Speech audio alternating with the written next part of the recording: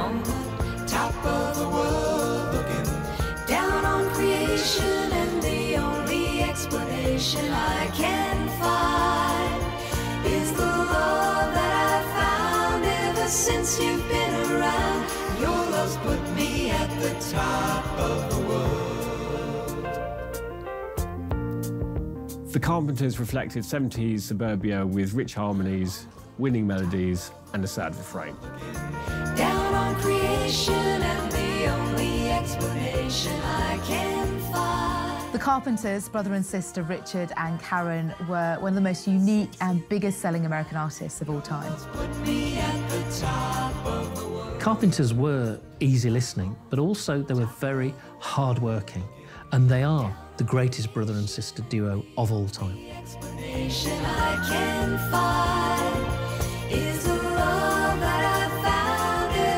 Since you've been around. Your love's put me at the top of the world.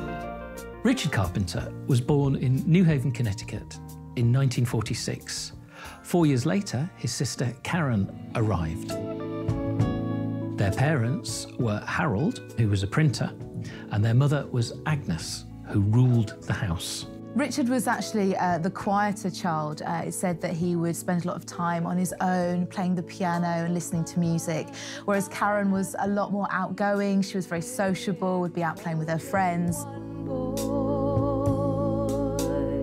Harold and Agnes used to have these fairly formal dinner parties, and after them, both parents would entertain their guests on the piano.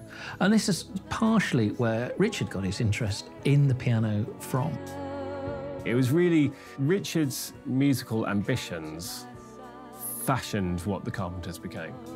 When the family moved from Connecticut to Downey, a suburb of Los Angeles, in 1963, Richard went off to um, California State College in Long Beach, which was quite a formative time for him musically. He met John Bettis, who would later become one of his major collaborators and songwriting partners, also Wesley Jacobs, who would end up playing bass and tuba for the Carpenters. So this was really the period when Richard um, was finding himself musically and starting to experiment. Karen was part of the band at Downey High School. They initially tried to get her involved by forcing her to play the Glockenspiel, but Karen, being assertive and outgoing, was having none of that. And she enjoyed listening to the drums. She used to play along to Dave Brubeck records. And once she was allowed to play drums in the choir, then they realised that she was pretty good. In 1965, they formed the Richard Carpenter Trio with Wes Jacobs playing tuba and also bass, and they played jazz.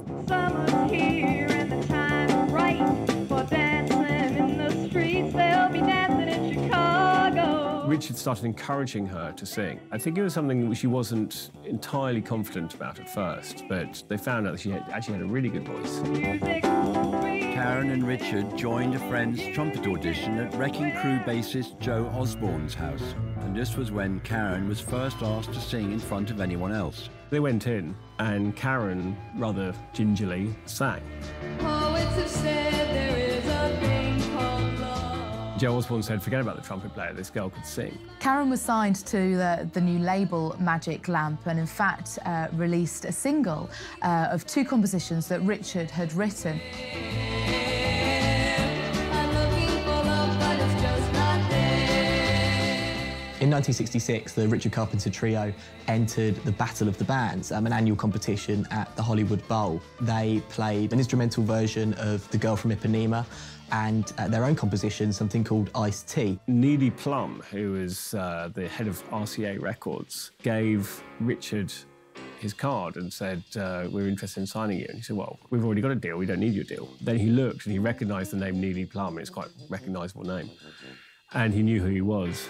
And he backtracked and said, Actually, it's just my, my sister has got a deal. It's a solo deal, it's fine, We're, you can have us. After signing with RCA, the Richard Carpenter Trio actually recorded a, an album, but the committee decided that they didn't want to release it, so they ended up getting dropped by the label. They formed Spectrum, who dressed alike and played a lot of old jazz standards and easy listening tracks too. And they were also very complicatedly vocal arranged by Richard. And Richard started understanding what an instrument Karen's voice was and developing his own flair for arrangements. And this is where what would become the Carpenters duo began to find their feet. After Karen's experience recording with Joe Osborn, Joe had allowed Richard and Karen to continue recording in his own studio. So he, they kept going in, they kept cutting demos. One of these demos um, found its way through Joe to Herb Alpert at A&M Records.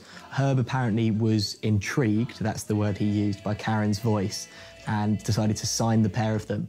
And the first time they met, apparently he walked into the studio, shook Richard's hands, introduced himself, and said, let's hope we have some hits.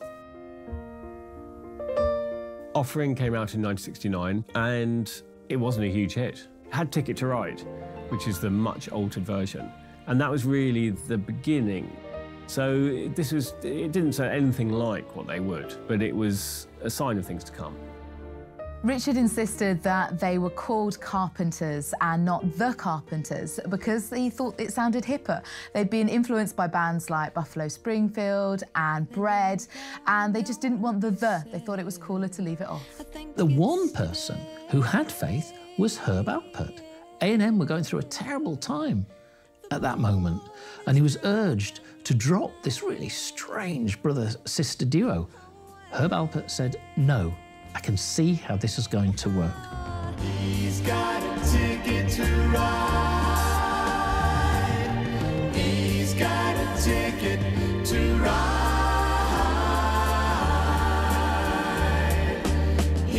got a ticket to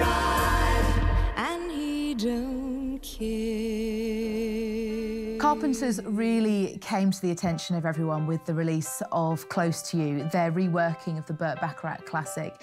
And it went to number one. Uh, it was a big hit for them. Why do birds suddenly appear every time you are near? Just like me, they long to be close to you. He said of the arrangement and the way Karen sang it that it was 20 times better than his own version. Carpenters followed the single's release with an album of the same name, which would yield a second international hit for them. Richard heard We've Only Just Begun um, on an advert for a bank in California, and he felt that he could rearrange it. We've only just begun to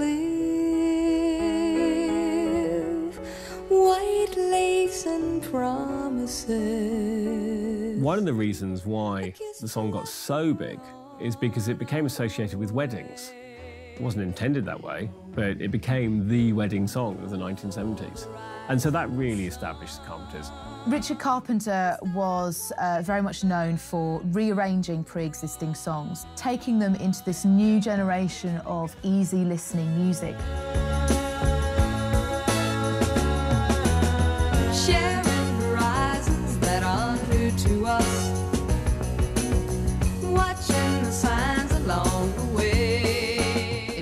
Really popular. Songs which haven't really sold as well in their original form became Carpenter's hits.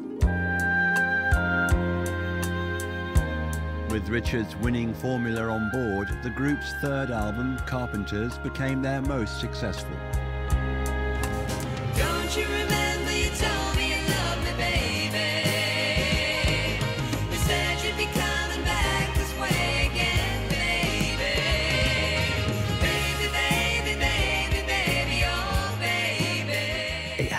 Their surprisingly edgy version of Leon Russell's Superstar on it. They sold out Carnegie Hall and they were giants. They were selling more records than almost anyone across the world. The album was four times platinum, uh, number two on the albums chart, um, nominated for four Grammys. It won one of them. Baby, baby. I think a lot of the appeal was the fact that there was just nothing threatening about them. There was something very, very comforting. And by the early 70s, you're back in a recession. The Carpenters were just smoothing everything over. Funny, but it seems that it's the only thing to do. Run and find the one who loves me. most of the verses are descending, so they've got a sense of sadness in a minor key. And almost always the choruses are ascending in a major key. So you have this kind of uncertain feeling of loneliness, you know, rainy days and Mondays, whatever. And then you've got the hope of the uh, of the chorus. In the early 70s, uh, Carpenters were touring the world and selling out venues everywhere Europe, America, Japan. They were absolutely huge.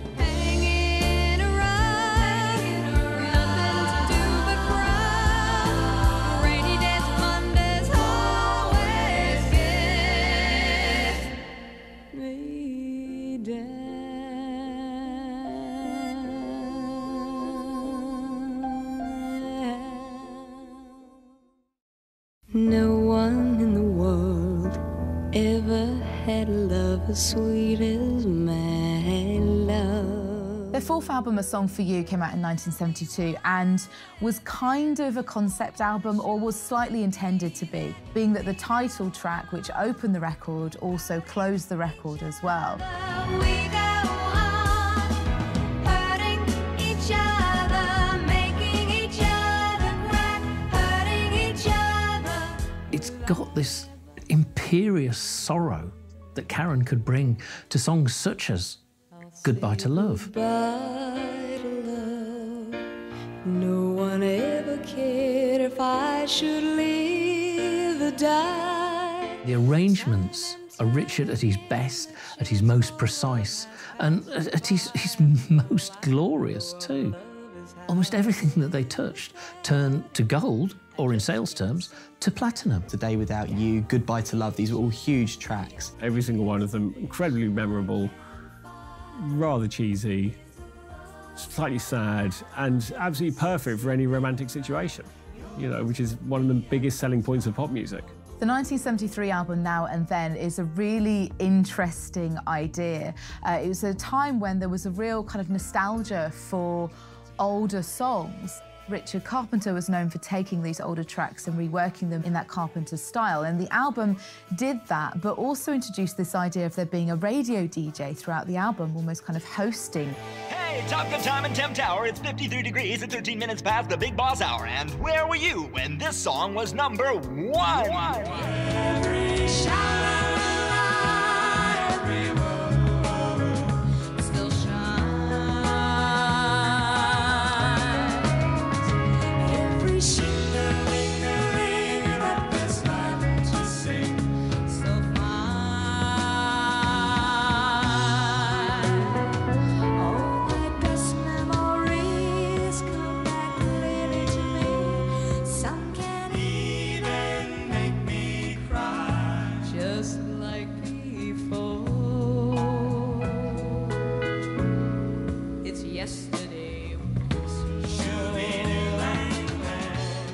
had a song called Yesterday Once More, which was about listening to the oldies. They weren't that old, about 10 years ago, but they were old, old for the time. And then also you had Jambalaya, which is a Hank Williams song. But again, this is the Carpenters who are meant to be representing modern suburban America. And Jambalaya was a fantasy image of the Deep South and maybe the 1930s. For tonight, I'm gonna see my Michelle Neo. Big guitar, the fruit jar, and big AO. Son of a gun, we'll have big fun on the bayou. So, this was the Carpenters looking back on America's past and presenting it in a way that was uh, acceptable to America's present. The first greatest hits package released by Carpenters was a massive smash. It ended up being one of the biggest selling records of the year. It went to number one in the UK for like 17 weeks. It went to number one in the US as well. It was absolutely huge. Richard didn't want an ordinary greatest hits album. So he went back into the studio and tinkered with the versions of his greatest songs. Horizon was the sixth consecutive platinum certified album, and it was covers. So it featured um, Neil Sedaka's Solitaire, um, Eagles' Desperado, um, most famously uh, the Marvelettes' Please Mr. Postman. Went to the top of the UK charts. It went platinum in the US. And it kept on selling. But mostly this was material which they hadn't written. Carpenters were among uh, some of the first American artists to use music videos to film something specifically to go with their releases. An example of this is uh, Please Mr. Postman, which they filmed in Disneyland. patiently for just a card just a letter saying he's returning home to me. There's Only Yesterday, which, summing up Richard to a T, as his t shirt tucked in his trousers, his arms folded, looking like he'd no idea why he was there. And there's a kind of hush all over the world tonight.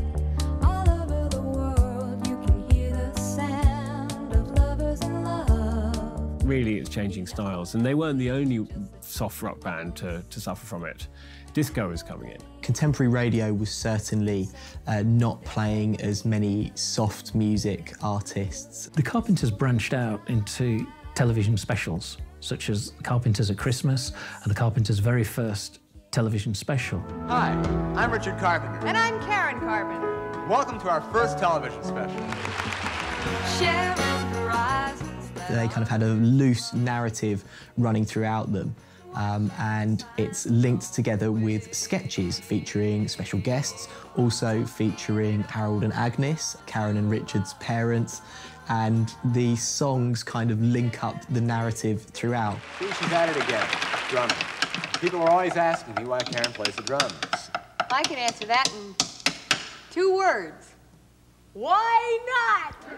Richard thinks it had a lot to do with the reason why they weren't taken more seriously, why Karen's really remarkable voice wasn't lauded in the way it should have been. Like sailing on a sailing ship to nowhere.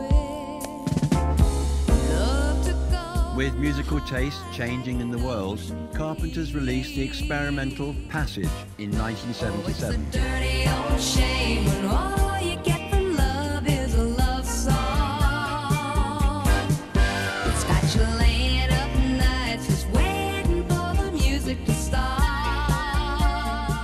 is their attempt, I think, of trying to embrace changing musical styles, in particular disco. It was quite jazzy, it had calypso, it even had calling occupants of interplanetary craft, which was one one of their great, great moments. Calling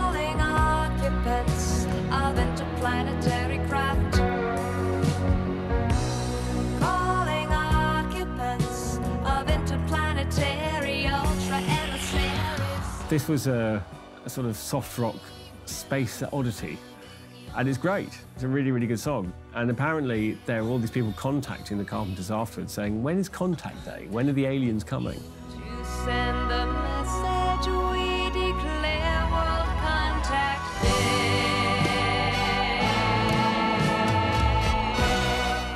1979, uh, it emerged that Richard Carpenter had actually uh, had an addiction to Quaaludes. The uh, band had to go on hiatus whilst he went into a rehab centre to deal with this addiction. Meanwhile, Karen was suffering from exhaustion and what is now recognised as anorexia nervosa. Karen took this opportunity to go and experiment musically, so she went to New York to record an album with the producer Phil Ramone.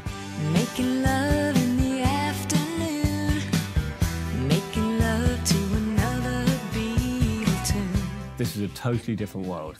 The lyrics are risque, even sexual. The music was disco tinged, rock tinged. It was an album she was incredibly proud of, but unfortunately, uh, Richard and their record label decided it was an album that shouldn't be released and it was shelved. Richard blocking her album was absolutely devastating for Karen, and she never really recovered from that. And from that point onwards, she really started to um, surrender to her eating disorder, and her health problems increasingly got worse. Their final album, Made in America, only sold 200,000 copies. It did produce their last top 20 hit, um, Touch Me When We're Dancing.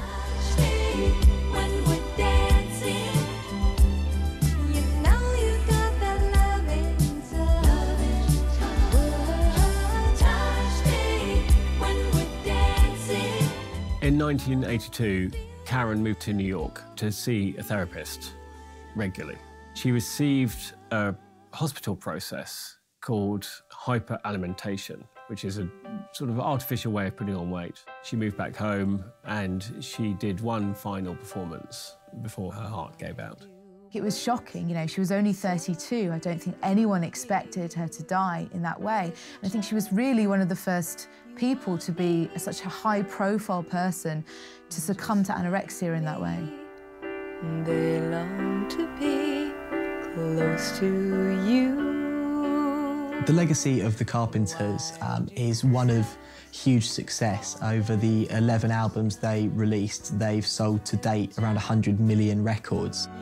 You walk by, just like me. They long to be close to you. Karen's voice. Uh, so many singers have credited her as, uh, as an influence from the likes of Beyonce to Madonna. You know, she is and was one of the greatest female singers of all time. So they moon. Richard and Karen Carpenter showed that you can make clean, perfect sounding records and still sell millions of records. Why all the girls